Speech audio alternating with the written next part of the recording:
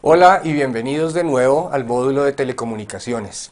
En esta semana vamos a continuar con lo que, habíamos, lo que vimos la semana pasada, que era la capa de transporte. Eh, vamos a empezar haciendo un pequeño ejercicio sobre los números de secuencia, que yo sé que ese es uno de los temas que puede causar más dificultad en esta parte del curso. Entonces vamos a, a mirar un poco en el tablero y a simular cómo sería una conexión TCP/IP entre dos hosts. Y luego vamos a hacer una pequeña práctica utilizando Wireshark y utilizando el programa Netcat para ver cómo se lleva a cabo esa comunicación. También vamos a ver un poco sobre cómo son las ventanas y cómo ya ver las ventanas en acción. Recuerden que las ventanas se utilizan para aprovechar al máximo el ancho de banda.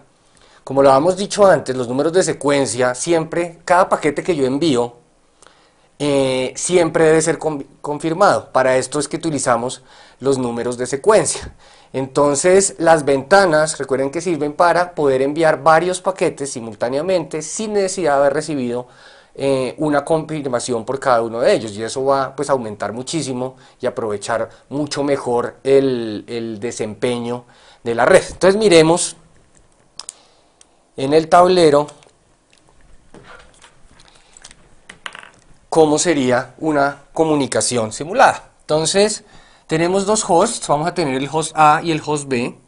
Entonces voy a hacer las líneas de tiempo. Entonces este va a ser el host A, este va a ser el host B.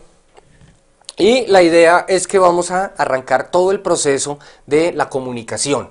Entonces, recuerden que para comenzar, que TCP es un protocolo que es orientado a la conexión. Entonces, para comenzar la comunicación siempre debe preestablecer la sesión antes de tener que, antes de eh, enviar algún dato. Entonces, lo primero que va a hacer, digamos que A va a ser el cliente, B va a ser el servidor, entonces el que inicia la comunicación va a ser A. Entonces, él le va a enviar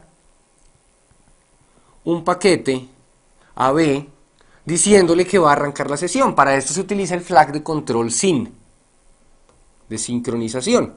Básicamente lo que le está diciendo es, B, me quiero comunicar con usted. Como suponemos que B tiene el servicio disponible, entonces él le va a responder. Ah, pero bueno, una cosita antes. Aquí hay una cosa bien importante y es el inicio de los números de secuencia. Entonces, cada paquete va a tener su número de secuencia y su número de acuse de recibo. Eh, en TCP, el número de secuencia, recuerden que es el que nos va a contar cuántos bytes se han transmitido. Este va a comenzar con un número que escoge el sistema operativo de manera aleatoria. Podemos ponerle, en este caso, digamos que empieza, él no empieza nunca a contar en cero, él empieza a contar en un número que escoge que es entre 0 y 2 a la, a la, 2 a la 32 menos 1. Entonces él empieza ahí, digamos que él empieza, y ese se llama el número inicial de secuencia, empieza su cuenta en la X. ¿Bien? Como no le ha llegado ningún tipo de información, entonces el, número que tiene en el acuse de recibo va a ser cero. Bien, entonces este es el inicio de la comunicación.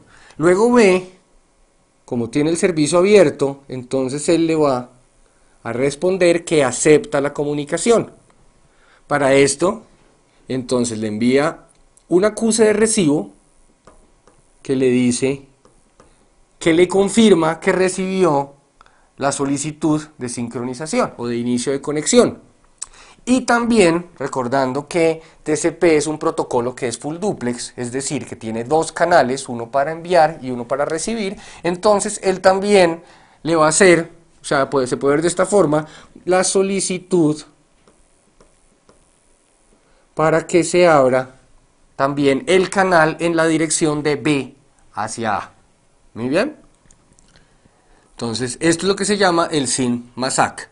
Aquí también va a haber un número de secuencia que de la misma manera como se generó en A, se genera en B, también va a ser un número aleatorio, entonces no necesariamente, es muy raro que sean los dos números iguales, entonces generalmente es cualquier otro número entre 0 y 2 a la 32 menos 1. Entonces pongámosle a este que el número inicial de secuencia va a ser y. Y el acuse de recibo, en este caso no va a ir el 0. ¿Por qué? Porque ya le llegó un paquete enviado por A. Entonces lo va a confirmar. Lo debe confirmar ¿cómo? Cuando lo recibe, él lo que hace es devolverle el número que recibió incrementado en 1. Es decir, cuál es el, el, siguiente número de secuencia que le espera. Entonces él le va a decir, listo, recibí X y el siguiente que espero es X más 1. Bien. A recibe ese paquete y entonces él va a terminar el inicio de la comunicación, recuerden que se llama el three-way handshaking, y le va a confirmar la recepción de ese paquete, también diciéndole listo, estamos listos para comunicarnos. Entonces, le responde con un flag de ACK, con el flag ACK encendido, el número de secuencia va a ser ¿cuál? El que espera B, que es el que viene aquí en el número de acuse de recibo. Entonces va a tener X más 1 y en el acknowledge ¿qué va a tener? La confirmación de que le llegó el paquete de la sincronización. Es decir, va a tener y, que es el que venía en el número de secuencia, más 1. En este momento ya se hizo el inicio de la conexión. Entonces, supongamos que el que va a empezar a transmitir es A. Entonces él le va a enviar un paquete, digamos un paquete de con 5 bytes en su carga. Entonces pongámoslo así y decimos que tiene 5 bytes. Eh, esto también tiene número de secuencia. Va a tener el acuse de recibo, ya ponemos cuáles son esos números. Y algo que es importante es que aquí va a viajar siempre, de ahora en adelante, todos los paquetes de la comunicación siempre van a tener el acuse de recibo de que me va a numerar los bytes que yo he recibido. Y eso para, para, para tanto para el cliente como para el servidor. Y eso pues es algo bien importante que siempre debe mantenerse. Entonces, el número de secuencia, ¿cuál debe ser? Esto, esto es lo que me enumera es los que yo he enviado. ¿sí? Desde el punto de vista de A, el número de secuencia es los que ha enviado A. Hasta este momento solo ha enviado uno, que es el de sincronización. Ahora va a enviar 5 bytes. Entonces la pregunta es, pongo, eh, ¿incremento de una vez el número de secuencia o cuándo debo incrementar el número de secuencia? La, la respuesta es que el número de secuencia solamente se debe incrementar cuando me confirme la llegada de los datos. Es decir, todavía no tengo que, incrementarlo. Entonces el número de secuencia va a seguir siendo el mismo que llevamos hasta el momento. ¿Hasta cuándo? Hasta que me confirme que se recibieron esos 5 bytes. El acuse de recibo, como tampoco he recibido nada y no tengo nada que confirmar, entonces se mantiene exactamente igual. Entonces va a quedar en Y más 1. Cuando B recibe esos 5 bytes, entonces él va a responder con un acuse de recibo, con un número de secuencia que ya él tiene, que es el mismo que está esperando eh, a recibir A, que va a ser Y más 1. Y va a confirmar con el acuse de recibo los 5 bytes que recibió. Entonces recuerden que los números de secuencia me llevan la cuenta de cuántos he recibido y eso me va a permitir saber en qué parte de la transmisión de datos voy. Entonces el acuse de recibo, ¿qué va a ser? ¿Cuánto iba? Iba en X más 1, y recibí 5 bytes, es decir, x más 1 más 5. Entonces queda en x más 6. ¿Bien? Vamos bien. Ahora supongamos que el que transmite es B. Entonces B va a transmitir, ¿cuántos datos? Digamos que transmite 7 bytes. 7 bytes. Entonces recuerden que este también viaja con un acuse de recibo, un flag de acuse de recibo, tiene su número de secuencia, como no le han no ha enviado nada y tampoco le han confirmado, obviamente, entonces el número de secuencia se mantiene exactamente igual. Y más 1. Y el acuse de recibo, pues también tampoco le ha llegado nada más, entonces pues va donde estaba la última vez, que va a ser x más 6. ¿Bien? Cuando A recibe esos 7 bytes, entonces va a responder con su acuse de recibo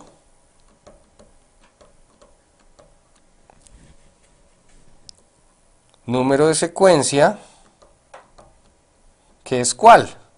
El número de secuencia que llevaba A. Él todavía no, a él ya le confirmaron. Entonces en este caso ya lo va a poder incrementar. Entonces va a ser cuál? El que está esperando B, que es X más 6. Ahí vean que ya lo incrementó y el acuse de recibo es cuál? Lo que llevaba de 7, es decir, y más 1, más los 7 bytes que recibieron. Entonces va a quedar en y más 8. ¿Bien? Bueno, supongamos que esta va a ser, ya era la única transmisión de datos que estaban, que intercambiaron los dos, los dos hosts. Entonces, Ahora vamos a la parte de la finalización de la conexión. Entonces continuamos aquí a este lado. Entonces aquí tenemos A y B. Entonces aquí es donde vamos. Y digamos que el que va a terminar, iniciar la terminación de la conexión es B. Igual puede ser cualquiera de los dos y eso pues eso ya depende de cómo funcione el protocolo. Entonces, digamos que B, como ya se acabó la comunicación, entonces le dice a A que quiere terminar la comunicación. Para esto recuerden que se utiliza el flag de acabar limpiamente que se llama fin. Entonces le manda el paquete con el flag fin encendido y claro, como siempre debe estar el acuse de recibo. Vean que el único eh, caso en el que no hay acuse de recibo, por lo menos en la conexión, viéndola de manera simple, es en el de el primero, el de sincronización, este que está, este que estoy subrayando acá. Entonces, la finalización también va a llevar sus números de secuencia.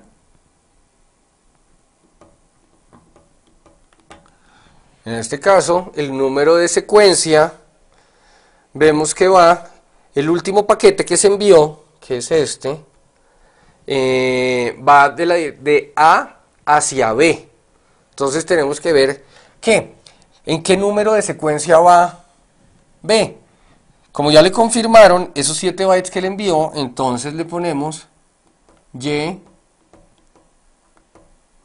más 8 y acuse de recibo de qué? de lo que llevábamos, que es x más 6. Bien. Aquí A va a responder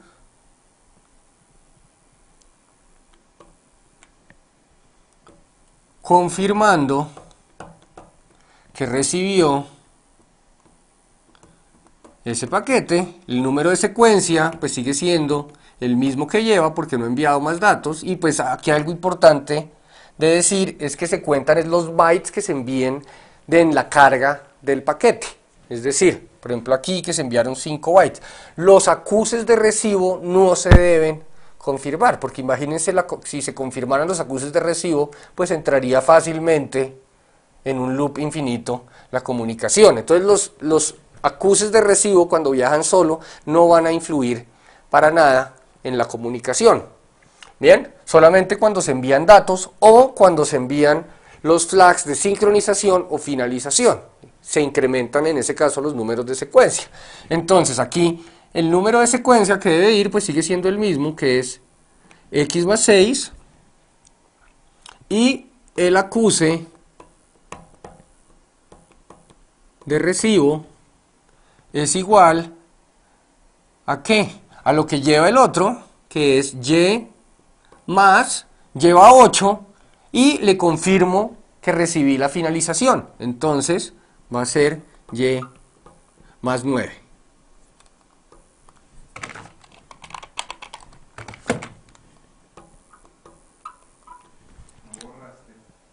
Bien, Ay, que no quedó, aquí no borro bien. Vengan a ver, para que quede mejor. Entonces, es y más 9. ¿Bien? Ah, y la dirección de esto que va para acá. Y ahora, en el otro sentido, también, recuerden, acuérdense otra vez, esto es un canal que es full duplex, es decir, dos canales, uno de envío y uno de recepción. Entonces, A también debe cerrar el canal desde su parte. ¿Bien? Entonces, en este caso ya se envió el canal de envío de B a A y ahora se debe eh, cerrar el canal de A a B. Aquí también hay una excepción y es muchas veces eh, el, uno de los hosts ya terminó de comunicarse, digamos que aquí terminó B. También A podría seguir enviando datos por su canal porque no lo ha cerrado. Eso, eso también es un caso que se puede dar. En este caso no, pues no, no, no lo vamos a ver de esa manera, pero pues tengan en cuenta que eso también puede pasar. Aquí vamos a hacer que A también cierre la, la comunicación, entonces A le envía un paquete también diciéndole que va a terminar la comunicación, es decir, con fin, también lleva su acuse de recibo. Como A no recibido nada, ni ha enviado nada antes de ese fin, entonces pues los números de secuencia se mantienen exactamente iguales. Entonces secuencia va a ser x más 6 y el acuse de recibo va a ser y más 9. Bien. Y ya para terminar la conexión, entonces, B responde con la última confirmación, que le está confirmando a A que le llegó la finalización. Entonces, en este también va número de secuencia, es pues, el que está esperando A, que va a ser igual a Y más 9, y el acuse de recibo va a ser que lo que lleva de A, recibido de A, que es X más 6, y le confirma la finalización. Entonces va a ser X más 6 más 1, es decir, X más 7.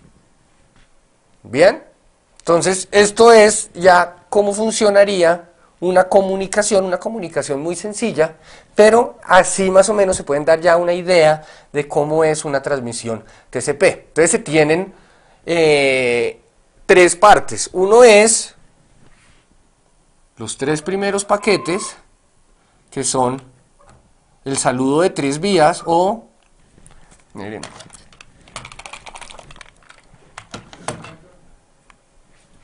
o Bien. Eh, entonces esto es lo que se llama el three-way handshaking.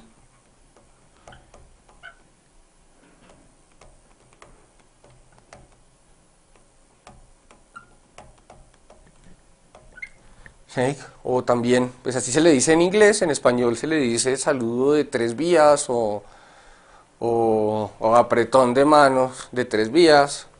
Me gusta más three-way handshake. Luego viene la transmisión de datos.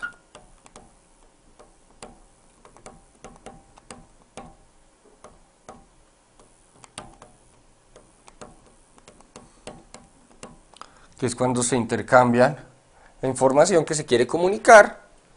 Y lo último es esta parte, que es la terminación de la conexión.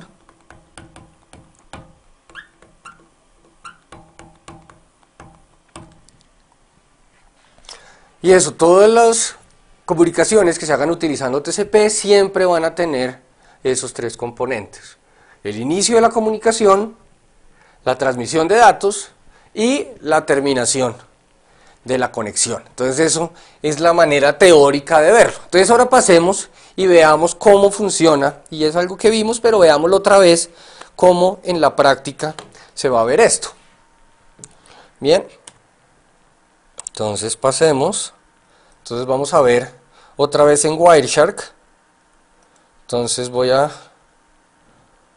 a ver, iniciemos. El Wireshark.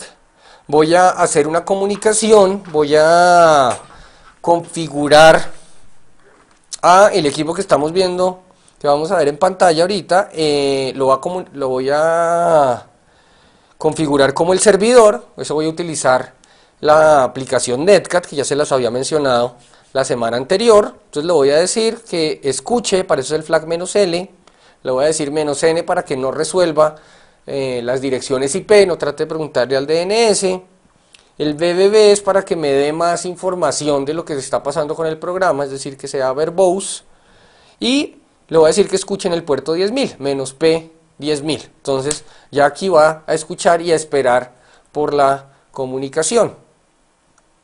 Ahora configuremos Wireshark, y aquí ya lo tengo listo para eso, y le voy a decir solamente capture los paquetes que tengan, que vayan dirigidos o sean originados del puerto 10.000, del puerto 10.000 TCP, que es importante. Y pues en este caso pues solo va a ser para, para esta prueba, entonces pues solo vamos a ver esos, esos paquetes que nosotros generemos. Entonces aquí ya estoy escuchando, vean que aquí ya estoy escuchando. Y aquí en la otra máquina que tengo al lado pues voy a hacer que se inicie la conexión. Y ahorita vamos a ver cómo se ven todos los le voy a decir que se muera a los 15 segundos. Entonces si vemos aquí vean que ya se inició la conexión. Vean también lo que pasó en Wireshark. Voy a escribir aquí. Hola B. Digamos que donde está recibiendo es B. Este va a decir hola A.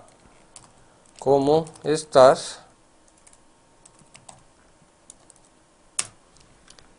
Y se cerró la comunicación. Aquí le puse un, tiempo demasiado corto para que muriera, entonces no alcanzó a funcionar bien, entonces la voy a, la voy a hacer de nuevo, le voy a poner un timeout no, no tan corto y que me dé el tiempo de escribir, entonces vuelvo a poner a escuchar eh, la conexión y le voy a decir aquí que haga la finalización no a 15 segundos, sino 25, o sea, le damos tiempo, si acaso esperamos un poquito, entonces otra vez le va a decir, aquí se conectó, entonces le va a decir, hola B, este le va a decir, hola A, ¿cómo estás?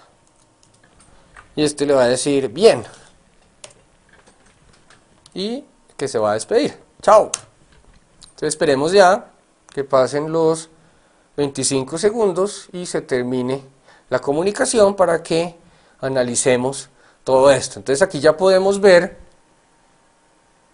cómo están los paquetes y la transmisión que fue lo que se transmitió por la red. Bien, ahora creo que le puse fue mucho tiempo, pero bueno, pues esperemos, listo, ya se terminó la comunicación. Entonces vean que aquí podemos ver cómo se van incrementando los números de secuencia. Entonces veamos, por ejemplo, un paquete cualquiera, vean aquí, o miremos aquí, la sincronización, veamos el número inicial de secuencia, que eso es algo que es bien importante. Aquí va a decir, bueno, aquí no lo muestra en cero, pero vean que en realidad lo que está enviando, que es aquí lo que estoy lo que se selecciona aquí en la parte de abajo, ese es el número que viaja, que es el 64C3E6 6A, ese número está en hexadecimal, es un número que está entre 0 y 2 a la 32, este número es bastante grande. Lo que se utiliza son los números de secuencia, entonces vean, este es el X que estábamos utilizando eh, aquí eh, y el que vimos en el tablero, este es el X inicial. Podemos ver, si le quitamos el X, vean que podemos ver los números en lo que se llama números de secuencia relativos, que es verlos... Eh, como si empezaran a contar en cero. Entonces aquí vean que lo estamos viendo que está, que aparentemente está en cero, va el flag de sincronización y no viaja nada de datos. Ahí van otras opciones pues del paquete que ya es bueno pues que las de pronto las miren eh, y, entiendan qué hace cada una mirando el RFC. Eh, lo mismo sucede para el paquete que me está enviando eh, el servidor, que es el de confirmación. Entonces aquí también vamos a ver que el número de secuencia, y vean aquí el número de secuencia inicial es 20 de 3, es 7, 12, que es diferente al inicial que me envió. Ah, son números que se escogieron de manera aleatoria, pero si lo vemos de manera relativa, entonces este va a ser 0. Y vean que aquí también le está confirmando a A con 1. Y vean que este corresponde al número de secuencia inicial de A incrementado en 1. 64, C3, E6, 6B. Y el otro de, es 64, C3, E6, 6A. Miremoslo y confirmemos esta información. Entonces aquí está el número de secuencia y vean que aquí está efectivamente 64, C3, E6, 6A. Entonces el otro es el 6B y lo mismo pasa para toda la transmisión de datos. Aquí le podemos incluso decir para ver cómo fue la comunicación, es decir, lo que está en, la parte de datos de TCP, lo que está en capa de aplicación, y vean que aquí podemos ver la comunicación. Hola B, y entonces responde eh, B, hola B, hola A, ¿cómo estás? Responde bien y se despide, que eso fue pues básicamente lo que escribimos acá. Podemos verlo también de manera gráfica, y esto es una función que es muy útil en Wireshark. Y es decirle a Wireshark que nos muestre el diagrama de flujo, es decir, cómo se fue la comunicación de manera gráfica, que es una representación pues, de esto mismo que estamos viendo acá. Entonces dijimos, digamos que le muestre los paquetes que está mostrando, que es la comunicación, no hay más, el flujo de TCP y dejemos la otra opción así.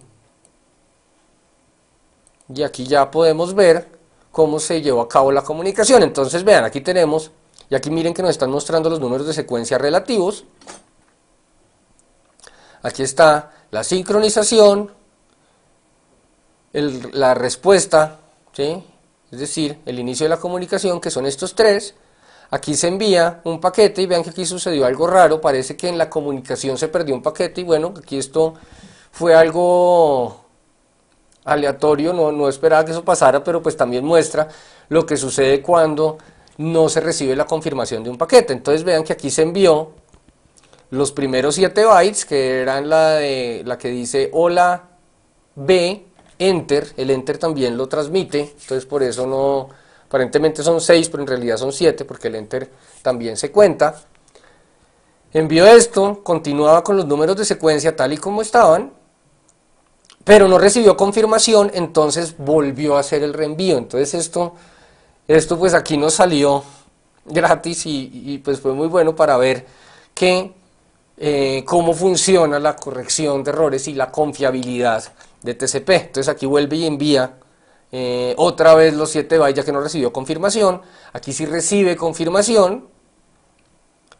Y vuelve B, miren aquí B envía otra vez el hola A, ¿cómo estás? Que son esos 19 bytes, recibe la confirmación de A, aquí está el, era cómo estás, entonces ahí responde A que está bien, entonces son esos 5 bytes, recuerden el enter, confirma otra vez B y le envía la despedida, que era chao,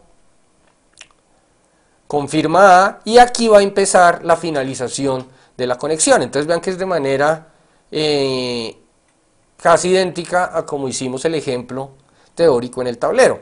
entonces es finalizar y su acuse de recibo, que es lo anterior, vean que los números de secuencia se mantienen iguales porque no se ha transmitido ningún dato. B confirma la recepción de, esa finalización y vean que entonces incrementa ese 13, lo incrementa a 14. La finalización ahora la envía B ¿sí? para cerrar el canal de su parte y de la misma manera A confirma esa recepción y se termina la conexión. Entonces vean que funciona más o menos o, muy parecido a como lo hicimos en el tablero. Entonces, ¿qué hay que ver aquí? Aquí este, esta, esta comunicación, pues es una comunicación que hicimos a mano, obviamente es una comunicación que es muy, muy sencilla, entonces yo envío datos y me confirman y después me envían datos, los confirmo o yo puedo enviar datos y me confirman, pero aquí vean que no estoy aprovechando realmente el ancho de banda, sino hasta que no recibo la confirmación, no vuelvo a hacer transmisión de datos. Entonces, pues eso pues también puede ser eh, un problema mm, en cuanto al aprovechamiento de ancho de banda, porque yo tengo que esperar un tiempo determinado para recibir la confirmación y ahí sí poder volver a enviar datos. Entonces vamos a ver ahora un ejemplo utilizando ventanas. Entonces déjenme volver a dejar en ceros y voy a limpiar otra vez el Wireshark y voy a poner otra vez a escuchar el servidor, ¿sí? Ya está otra vez capturando con las mismas características. Lo que voy a hacer esta vez es que no le voy a enviar solamente, pues no van a hacer la comunicación a mano, sino va a hacer algo que es un poco más realista y es hacer un envío de un, de un archivo que tiene eh, más o menos 15 kilobytes aproximadamente. Entonces, aquí ya lo tengo preparado en el otro, en el otro equipo, es un archivo que tiene A, B, C, D y aleatoriamente escritos. Aquí vamos a ver lo que sale eh, en la pantalla. Entonces, eh, si podemos poner esto, eso, hacemos aquí la transmisión y hay un segundo que eh, el archivo no lo tengo no lo tengo cargado todavía entonces bueno pongámoslo eh,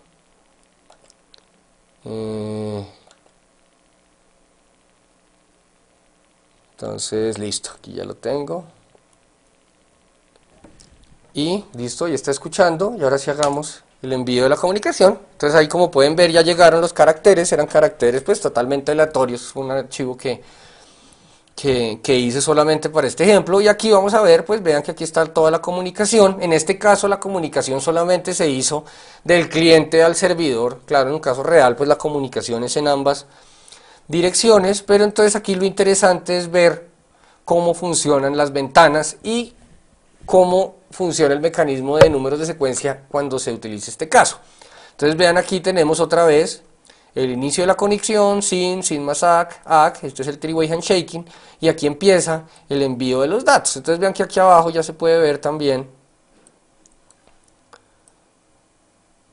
los paquetes cómo van. Entonces, ah bueno, y una cosa que es bien importante acá, ya que estamos haciendo un ejemplo de la ventana, algo que se manda en, en, los primeros paquetes de la conexión es la ventana y es este valor que vemos acá. Lo que está diciendo acá, este es el cliente, que es el que inició la comunicación, le está diciendo que mi ventana es 8192 bytes. Él se está refiriendo a que él pueda poder y tiene capacidad de recibir simultáneamente solamente 8192 bytes sin necesidad, es decir, ese va a ser el espacio que él va a dejar para que los números de, los paquetes lleguen y poder recibirlos sin necesidad de enviar, de tener todavía la confirmación de otros datos. Entonces, lo mismo pasa con el segundo paquete, aquí le dice el servidor, mi ventana, este, en este caso va a ser mucho más grande, es 65.535, es decir, puedo recibir 600 65.535 bytes de manera simultánea. Claro, todo no puede ir en un paquete. porque también hay un, campo que es muy importante, que es el este, MSS, Maximum Segment Size. Entonces este se refiere a que el máximo tamaño que puede tener un paquete o un segmento TCP, está mejor dicho así, un segmento, es de 1460. Entonces, para poder aprovechar al máximo la ventana, entonces yo debo poder o yo debo enviar eh, varios paquetes hasta copar esa capacidad de la ventana. Entonces, aquí responde el acuse de recibo y aquí vean que va a pasar algo que también es bien interesante. Las ventanas se llaman ventanas deslizantes. Uno porque se van deslizando a través del el flujo de datos, es decir, es lo que se va moviendo y eso me va a eh, dar la referencia para cuáles son los números de secuencia válidos dentro de, ese, de, ese, de esa etapa de la comunicación. Y también tienen algo que es bien interesante y es que se ajustan dinámicamente a la comunicación. Entonces siempre empiezan con un número, generalmente el, cliente empieza con un número bajito, el servidor empieza con un número alto y dependiendo de los valores que tengan ambos, entonces se incrementa a la necesidad el valor de la ventana para poder recibir más o menos datos. Bien, entonces aquí pasa el three-way handshaking y aquí empieza la comunicación. Entonces vean, aquí está el BA, CB, BA, Esa es la primero. Vean que envía, otra vez envía al cliente otro paquete y vean aquí, vean algo que es importante. Aquí los números de secuencia van en 1, 1 y aquí lo que se asume es que va a llegar la confirmación.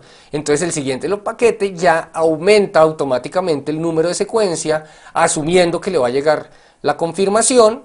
Y vean, aquí está la confirmación para esos dos paquetes. Bien, entonces va a quedar la confirmación que es 2921. Entonces miremos cómo, cómo funciona eso. Primero envió, digamos que va a hacerlo como lo habíamos visto, con una ventana pequeñita que solo aguanta un paquete, entonces si envía en este, que envía 1460 bytes, el acuse de recibo, que, aquí no está, pero hipotéticamente debería ser, ¿cuánto? El acuse de, recibo debería ser lo que recibió 1460 más lo que lleva, que es 1, entonces quedaría en 1461. Y vean que aquí se cumple esto, y aquí es como si se asumiera que ya se recibió esa información. Cuando aquí se envía el ACK, entonces ¿qué se está confirmando? Todo lo que lleva, que es los primeros 1460, después otros 1460, ¿sí? que eso me da 2920, más lo que llevaba, que llevaba 1, entonces queda en 2921. Entonces vean que aquí ya pudo él enviar dos paquetes de manera simultánea y solamente para esos dos paquetes se necesita una sola confirmación. Entonces, uno optimiza el uso del canal en cuanto a tiempo, entonces porque yo puedo enviar muchos más bytes simultáneamente y además se transmiten menos datos, porque ah, para muchos eh, paquetes que se reciban solamente tengo que enviar una sola confirmación. Ven aquí ya se va a ver otra vez en este caso solo está enviando de a dos paquetes simultáneamente y una, y una por cada dos paquetes se envía una sola confirmación y esto pues puede cambiar también dependiendo de las aplicaciones y cómo estén eh, implementadas, entonces pueden enviarse muchos más paquetes, incluso puede coparse totalmente la capacidad de la ventana, en esto ni siquiera eh, está en un 10%, está la capacidad de la ventana de 65 mil, más o menos, y aquí solamente estamos enviando casi 3000 bytes, o sea, más o menos el 5% estamos aprovechando y es pues por la aplicación que estamos utilizando. Pero pues en casos ya normales, aplicaciones pues ya eh, mucho más específicas como un navegador, como un cliente FTP, como un cliente de P2P. Entonces en ese caso sí, ya si uno captura el tráfico, entonces va a ver que la ventana se aprovecha pues de una, de una mucha mejor manera. Entonces miremoslo ahora eh, el flujo de datos, el flujo gráfico de datos y con las opciones que tenemos para ver un poco mejor cómo está funcionando la ventana. Entonces vean, aquí se ve mucho mejor que se envía dos, dos paquetes, dos segmentos y es una confirmación, dos segmentos, una confirmación, un segmento, otro segmento y envía la confirmación. Vean que aquí envía una cosa con push, y eso lo habíamos mencionado someramente la vez pasada, y el push lo que le dice es al que está recibiendo esos datos es los datos que ya haya recibido, súbalos, sáquelos del buffer, páselos a la siguiente capa. Entonces en este caso lo está pasando ya directamente a la capa de aplicación para que procese los datos. Igual pues todavía falta, él le confirma y vean que aquí, ay, aquí vamos a ver algo también bueno, vean, aquí se enviaron tres paquetes casi simultáneamente. Y pues, pues a la larga sí se ve simultáneamente, o sea, en realidad no, pero pues los intervalos de tiempo son tan, tan, tan pequeños pues que, que, que no es notorio para nosotros. Entonces vean que él recibió tres paquetes, cada uno de 1460 bytes, y solo envía una confirmación por esos tres. Aquí sucede lo mismo, que es lo restante, lo que le queda por enviar. También le dice push, ya que suba todos los datos que tiene el buffer a la capa de aplicación. Con eso pues ya igual termina todo lo que había transmitido.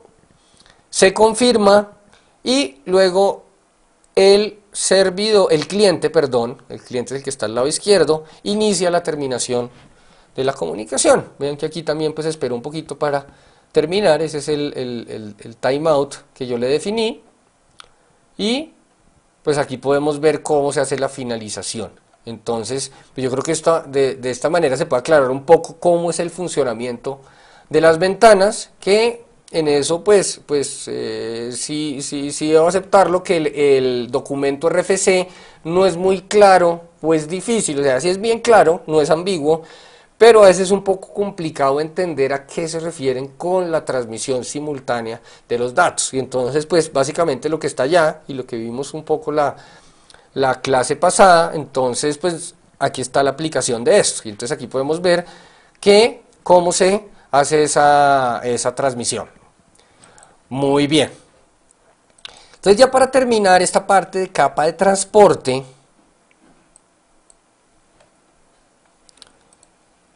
Entonces, vamos a hablar un poco sobre la programación de redes, que esto es algo que es bien importante, que ustedes conozcan ya que están pues empezando la eh, eh, una carrera pues que es técnica y que también van a ver cosas, muchas cosas de programación, entonces vamos a ver un poco sobre la programación de redes, esto va a ser apenas una introducción para que se den una idea de cómo deben pensarse las aplicaciones y qué eh, librerías disponibles existen para poder hacer este tipo de programas. Entonces, lo que siempre vamos a utilizar en este tipo de programación es lo que se llaman sockets, ya también lo habíamos mencionado, y lo que buscamos aquí es cómo construir aplicaciones cliente-servidor que se comuniquen utilizando sockets. Digamos que esto va a ser como los primeros ladrillos ya para crear una aplicación y que ustedes puedan entender y, trabajar por su cuenta y conocer un poco más de los aspectos pues, ya avanzados de programación eh, en redes. Bien, entonces lo que son los sockets, recordémoslo, son simplemente estructuras de datos que me van a hacer la, son como las puertas que me van a comunicar un proceso, que van a permitir que un proceso se comunique con la red para tanto enviar como recibir datos. Eso es básicamente lo que son eh, los sockets. Estos comenzaron en 1981 con la, con la distribución de, de, Unix BSD y ahí fue cuando se empezaron a implementar pues ya esta abstracción de lo que es la, la programación de redes. Inicialmente no es que no, no, existieran redes, claro que existían, pero todavía no estaba esa, esas librerías ya disponibles para que un programador no tuviera que programar absolutamente todo. Antes sí al programador le tocaba hacer todo, desde prácticamente la interacción del sistema operativo con la capa física hasta la interacción de la aplicación con el canal de comunicaciones. Entonces, pues antes era muy complicado hacer estas, estas aplicaciones de red con los APIs para sockets, entonces pues eso se facilita porque ya quedan eh, desarrolladas y el programador no se tiene que preocupar por esos aspectos de la comunicación.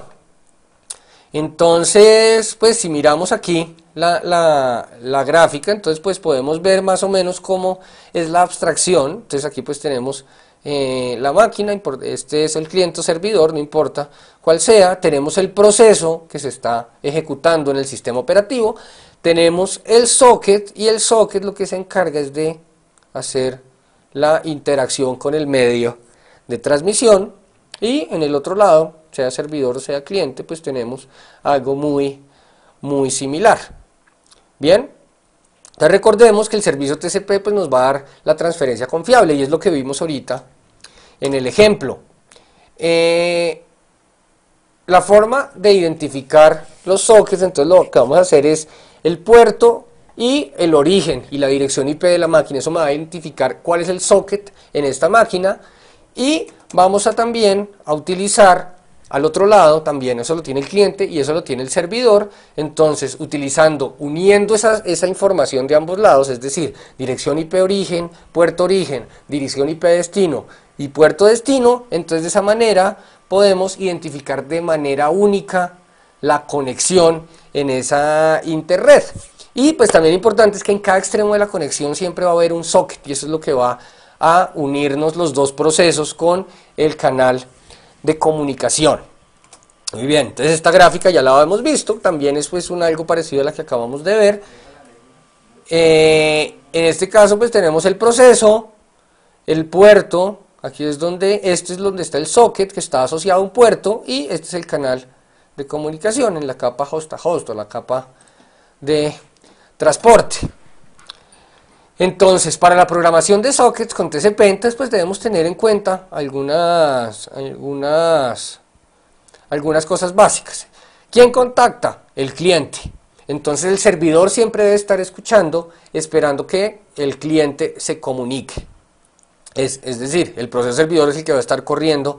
Primero, cuando el cliente contacta al servidor, entonces se inicia, claro, cuando es TCP, se inicia la comunicación con el three-way handshaking,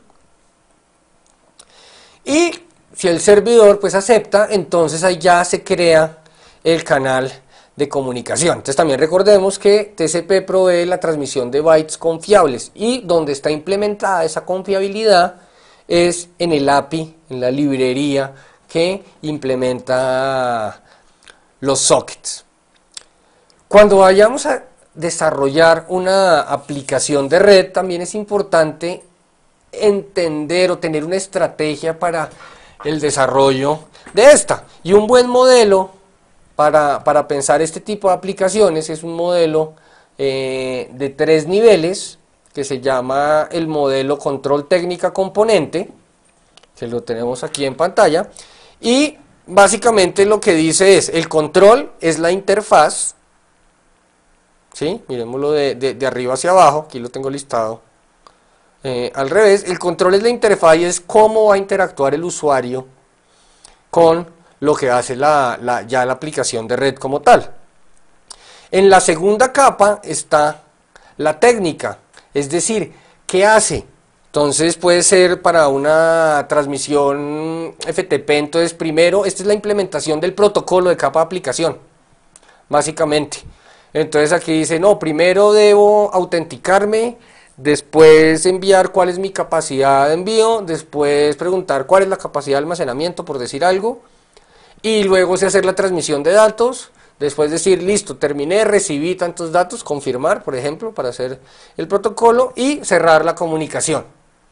Entonces, toda esa implementación se hace en la capa de las técnicas. Y finalmente está la capa que es más bajo nivel, que es la capa de componentes, que son las piezas necesarias para yo poder implementar esa técnica o ese protocolo. Entonces las piezas necesarias son, por ejemplo, una función que se encargue de crear el socket y ya. Otra función que se encargue de recibir los datos y enviarlos. Otra función que se encargue de crear los encabezados eh, del paquete. Y con eso, hagan de cuenta que es como un, como un Lego, por ejemplo, un juego de de piezas que uno puede armar las cosas, los componentes son esas piezas y con las piezas yo puedo pues ya armar una figura, por ejemplo un carro, una nave, un avión, lo que sea. Entonces básicamente esa es la idea que se plasma en este modelo de desarrollo. Aquí también un consejo que, y este sirve mucho este modelo para poder diseñar la manera lógica de la aplicación, y, nos sirve para diseñar inicialmente en papel cómo va a estar estructurada la aplicación. Entonces el consejo es, primero pensemos qué, qué queremos que haga la aplicación, cómo vamos a interactuar, es decir, empecemos por arriba, pensándola por arriba, pero ya cuando vayamos a programar, entonces podemos empezar ya a programar, ya definiendo qué componentes necesitamos, programamos cada uno de los componentes y vamos a partir de eso ya construyendo, es decir, diseñar de arriba hacia abajo y programar o implementar de abajo hacia arriba. Y eso, pues no necesariamente es la, única opción para hacerlo, pero eh, en mi opinión es una muy buena forma de abordar estos problemas y tener pues eh, aprovechar lo mejor que se pueda el tiempo y pues, los recursos que tiene para, para programarlas. Entonces, bueno, miremos aquí también, aquí se ve también cómo se inicia la comunicación, entonces primero tenemos el three-way handshake que lo solicita el cliente y cuando ya se termina el three-way handshake, entonces así se establece la comunicación. Generalmente los servidores están implementados para tener un socket, lo que se llama aquí el welcoming socket, el socket que recibe las solicitudes de comunicación y después cuando se termina el three-way handshaking, entonces se crea un socket que va a ser ya para la conexión, es donde se va a hacer el intercambio de datos y pues eso lo podemos ver aquí. Entonces miremos un ejemplo pequeño hecho en Java que muestra una aplicación cliente-servidor que simplemente el cliente le envía un texto en minúsculas y el servidor lo convierte en mayúsculas y las envía de vuelta al cliente.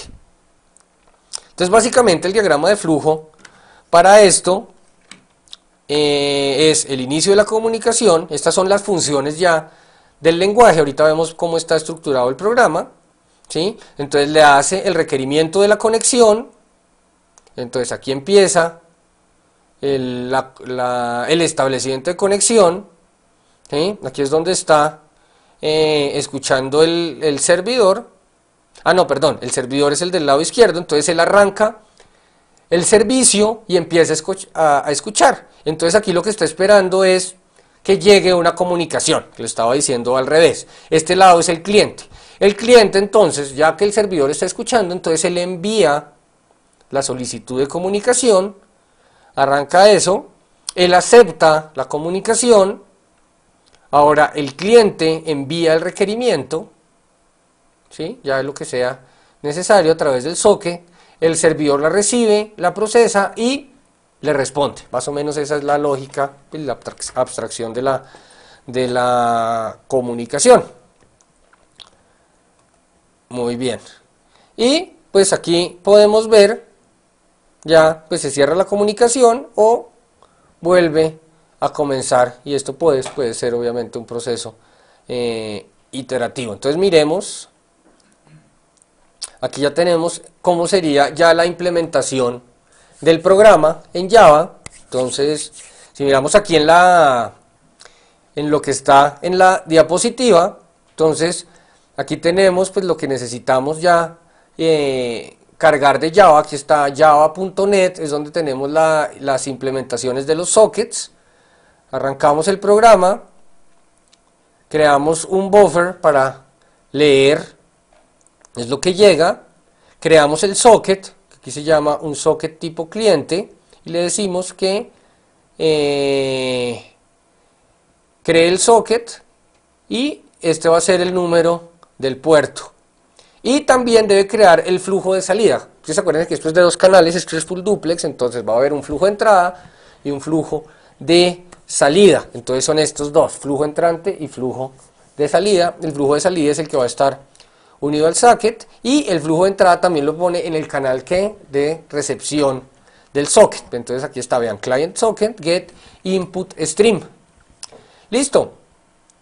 Aquí lee de pantalla o de lo que lee el usuario los datos que le dé, aquí va a ser una palabra en minúsculas y se lo envía al servidor. Vean que es muy simple y es simplemente en el flujo de salida decirle envíele esos bytes y después de que el servidor lea, entonces le dice lea del servidor lo que llegó y este va a ser la sentencia modificada y Ahora se imprime que fue lo que llegó y se cierra el socket. Eso es básicamente un cliente muy básico de lo que se puede hacer en Java. Y en este caso el servidor, ahora lo, lo podemos ver.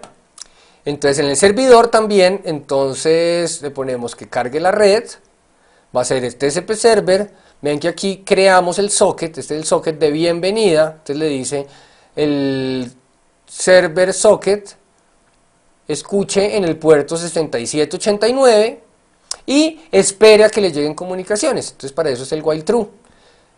Entonces crea un socket de conexión que es en el que va a estar siempre esperando, va a crear los canales, los flujos de entrada para ver qué es lo que está llegando una vez llegue la comunicación. También un flujo de salida y empieza a leer lo que llegue en el socket. En este, en, eh, en este caso, pues lee simplemente la cadena de caracteres que llega, convierte a mayúsculas con la función toUpperCase eh, los datos que le llegaron y los vuelve a enviar al cliente y finalmente pues cierra la comunicación. Entonces básicamente eh, vean que es un, un, dato que, un programa que es muy sencillo y con este se ilustra muy bien lo que es la, la comunicación entre los dos hosts. Otro que también es importante son los sockets de Berkeley, esto lo voy a ver solamente muy por encima y es para que pues también lo tengan en cuenta. Esta es la implementación original de los sockets, claro que ya ha obviamente avanzado mucho, esto es prácticamente ya el estándar de comunicaciones para sistemas Unix que utilizan los sockets, Berkeley Socket o BSD Sockets. Esto pues tiene varias, eh, son librerías que encontramos en los sistemas Unix. Eh, hasta donde tengo entendido en los Windows no hay Berkeley Socket, pero sí tenemos eh, ahí el API de Windows que se llama WinSock, que con ese es el que hacemos esas implementaciones. Eso para sockets hechos en C y pues Java ya tiene pues sus propias librerías independientemente de lo que se tenga por debajo. Sin embargo, yo creería que sí debe haber algún tipo de implementación. Entonces, muy bien. Entonces, eso sí les aconsejo pues que miren un poco cómo son los sockets, cómo funcionan los sockets de Berkeley, vean las diferentes implementaciones. Hay muchas funciones que les van a, permitir pues hacer esta la programación. Entonces, pues ya para finalizar es cierto, para poder programar sockets sí es importante que ustedes entiendan muy bien cómo funcionan los protocolos, cómo, cómo, cómo es la teoría de las redes. No les va a hacer daño, y como se los he dicho, eh, leer los RFCs. Para diseñar las aplicaciones piensen en alto nivel y programen desde bajo nivel hacia arriba. Miren en, eh, para Windows cómo se hace, para eso está la documentación de Microsoft del MCDN. Y, también no se aprendan, no es necesario aprenderse de memoria las funciones. Eh, la red está llena de ejemplos, usen mucho los buscadores y pues con eso pues ya, ya van a tener un punto de arranque para ustedes mismos hacer sus aplicaciones de red en el caso que las necesiten. Entonces, pues bueno, entonces con esto pues finalizamos la clase de hoy. Espero pues que haya quedado claro. Eh, igual es importante que lean el material, que lean todas las lecturas, pregunten a su tutor y pues utilicen mucho los buscadores y busquen en la red que van a encontrar muchísima información. Entonces, bueno, nos vemos la próxima semana para arrancar con lo que es capa de red. Bueno, nos vemos. Chao.